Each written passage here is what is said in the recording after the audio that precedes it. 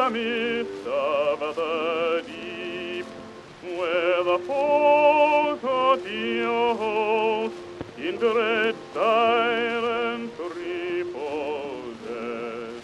What is that which the breeze for the towering steep as it fitfully blows have concealed turf discloses.